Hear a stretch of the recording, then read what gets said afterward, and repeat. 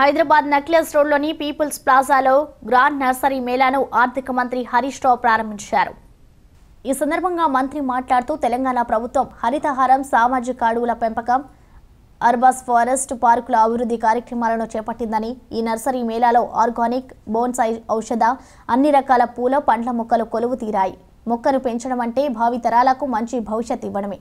మన పిల్లలకు ఆస్తి ఇస్తే నిలుపుకుంటారో లేదో కానీ మంచి పర్యావరణాన్ని ఇస్తే వాళ్ళకు మనం మంచి భవిష్యత్ ఇచ్చినట్టే అని అన్నారు.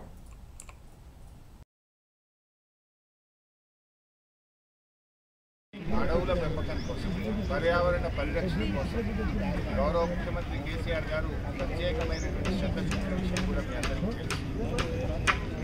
పునరుద్ధరణ కార్యక్రమం ఒకవైపు సోషల్ ఫారెస్ట్ ఒకవైపు లే బడ్జెట్లో పది శాతం పర్యావరణ పరిరక్షణకు మొక్కలు పెంచడానికి విధిగా ఖర్చు పెట్టాలని చట్టం తెచ్చిన మొదటి రాష్ట్రం ఈ దేశంలో తెలంగాణ రాష్ట్రం.